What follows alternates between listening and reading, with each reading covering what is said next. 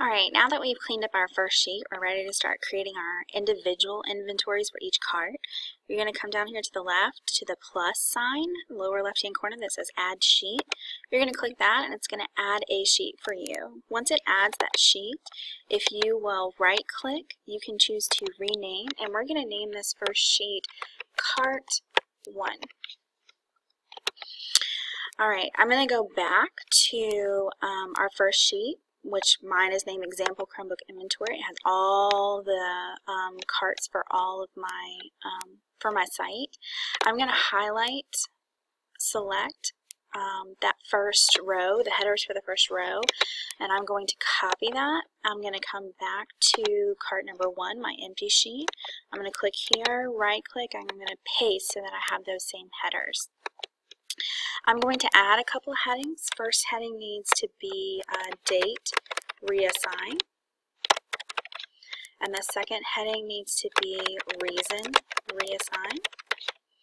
And then I need to copy student ID, first name, middle name, and last name.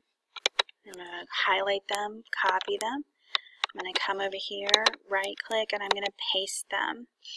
And I know it's kind of cutting that off a little bit, but you can see um, it's copied all of my student information there. Okay, so now that I have all of my um, columns, I'm going to highlight, I'm going to click the one to highlight um, that entire row and I'm just going to make sure that they're all bold and make sure that they're all 14 point font because I added those two new ones.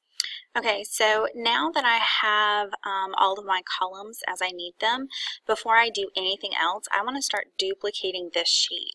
Because um, this is for cart one, and if I go back to my um, first sheet, you can see if I scroll down, you're looking at the cart numbers here, um, this particular site that we're using as an example has like 25, 25 different carts. So that means that I'm actually going to need an individual inventory sheet for each cart. So right now I have cart one sheet set up. I need to go ahead and right, right click that sheet and I want to duplicate it and it's just going to create a copy. It's going to have all the same headings and I'll just right click and rename that to cart number two. And so basically I'm just going to continue to duplicate and rename until I have um, all of the, um, the number of carts that I actually need for my individual site. You may have 10 carts, you may have 30 carts, however many you have, you want to create a tab for each one of those. Now that I've created that tab, I'm ready to start um, importing some of my inventory for each one. And since I've already sorted this by cart, I can come right here and go all the way down and I see right here it changes from cart 1 to 2. I only want cart 1. So I'm going to highlight my data just for cart 1. I'm going to right click, I'm going to copy it, I'm going to go to my sheet for cart 1, I'm going to right click and I'm going to paste it in there. And you'll see I only have cart number 1. Now I know it's like really spread out right now so we can redo how we auto fit the column widths. Um, so if you highlight all of it and you look for that double-sided arrow again, double click, um, it'll kind of shrink that down so it all fits rather than you having to keep scrolling all the way across.